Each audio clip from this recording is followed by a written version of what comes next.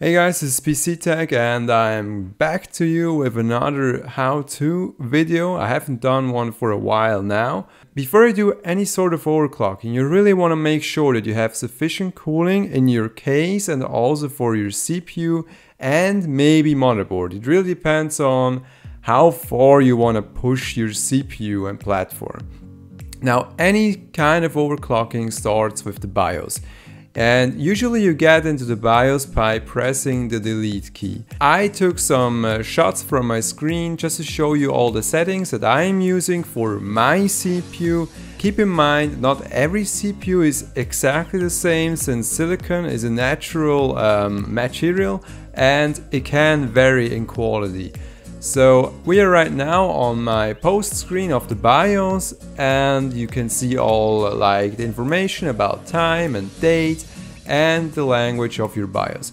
I also changed the um, SATA configuration on my BIOS from IDE to AHCI because I'm running Windows 10 and an SSD with 500 gigabyte and I really want to run it over AHCI than like IDE. Then when you go back and move with your keys more to the right side you can get to the um, advanced mode and then you can choose the jumper free configuration and you should actually see this screen now. It usually is at auto and when you change the AI overclock tuner from auto to manual you will get way more settings that you can change. I went with um, the CPU ratio multiplier or like the setting of 9. Now the number 9 will be multiplied with the FSB frequency that you're running on your motherboard and the result of it will be the frequency of your CPU. Might sound a little bit confusing but it makes total sense and you will get used to it. So the CPU ratio is very often limited unless you're using an Intel Core 2 Quad Extreme Edition CPU which comes with an unlocked multiplier. Now my CPU, the Q6600, comes with a multiplier of 9. It is the max multiplier, you can go down all the way to number 6, but I'm running it at number 9. Then FSB wrap to Northbridge, I leave that one to auto, as I felt like it didn't give me any stability enhancement. And then I went with the FSB frequency of 440. Now my motherboard could do 500 easily, but for the CPU it is just a bit too much. So 440 is okay, and when we um, multiply 440 times 9, we will get 3.9 something gigahertz on our CPU, which is a very respectable overclock. Then DDR2 frequency. I went with 1057, which um, is the second um, lowest setting that I could actually choose for my memories. And as I'm running rather high-end DDR2 memory, my sticks are absolutely fine with these settings. But um, if you're running like DDR2 800 megahertz RAM, you want to make sure that you're running them at 880 megahertz and not at 1056 because they may cause stability issues on your system. Then maybe you will have to change the latency on your memory because you overclocked it a little bit.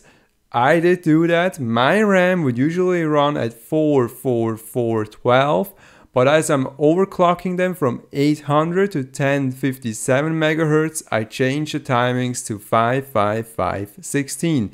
All the other settings on the memory will be left on auto as they just really don't affect um, stability but they could enhance um, performance on my system. Then when you go a little bit further down, you will find the voltage table of your motherboard.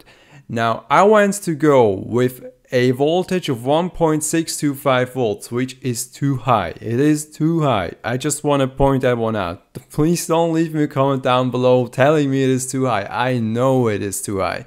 However, it is a Q6600 and based on the 65 nanometer lithography. Therefore, it just needs more voltage to achieve such high frequencies. If you are like aiming for 3.6 gigahertz, you can actually go all the way down to 1.35 volts and it should probably be fine at these settings.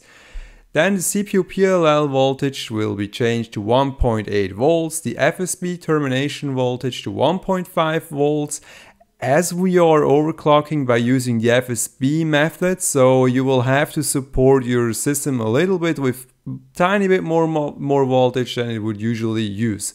Then DRAM voltage can usually be read from the sticker that is on your uh, module and if you're overclocking it you might increase it just a slight bit don't go too far with it otherwise you might uh, run into serious issues with your memory then north bridge voltage will be set to 1.75 as I'm running um, four sticks of memory and also rather high FSB frequencies I really want to make sure that my Northbridge voltage is running at, yeah, sufficient voltage.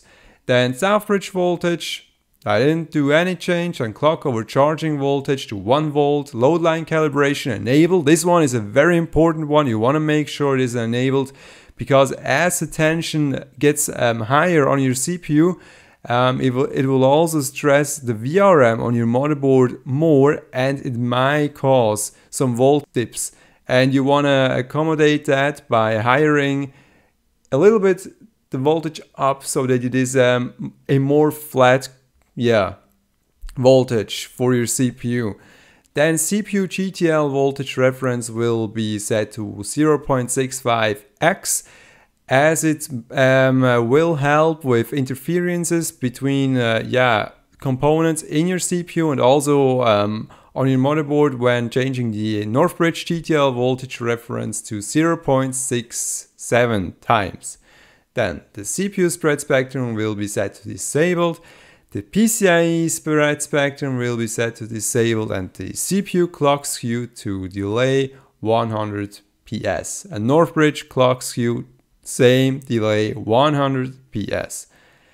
Then there are also some settings that you can do um, in your CPU configuration and I usually just disable everything especially C1E support as it would downclock your CPU when it isn't being used and yeah this may cause stability issues.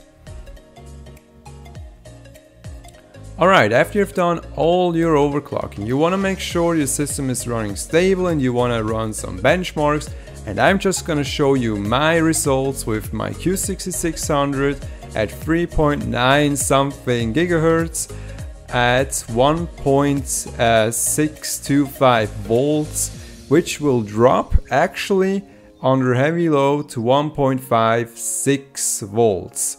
As you can see here on my CPU ID of AIDA64, you will see all the frequency um, from the FSB, the CPU itself, then the voltage, then the memory and the timings of my memory. Then I ran Cinebench R15 multi-core and the CPU got um, a score of 388, it fluctuated a little bit. I also achieved um, 390 points once yeah, it is just the nature of this benchmark. Then I also ran the Cinebench R15 single-threaded um, benchmark and I got a score of 104 points, which is actually really respectable. When you think about the AMD Bulldozer FX 30, uh, 8350, which would only score 96 points in single-threaded applications, so like the Cinebench R15 single-threaded benchmark. Then I also ran 3D Mark Firestrike, um, a custom benchmark, only the CPU as the physics score, and I achieved 6324 points, or like mostly around 20 FPS, which is, yeah, it is a decent score, especially for such an old CPU. Then I also ran um, uh, Geekbench 4.0 and the single core score was at 2523 points and the multi-core score at 7307 points. Yeah, that's basically it. I hope you enjoyed this um, how-to guide, which is uh, more of like a baseline of showing you which settings you may want to consider when you do any overclocking. Overclocking involves a lot of time, um, you will have to trial and error your CPU and motherboard And yeah, I will see you in the next video with a new vlog, probably. Bye.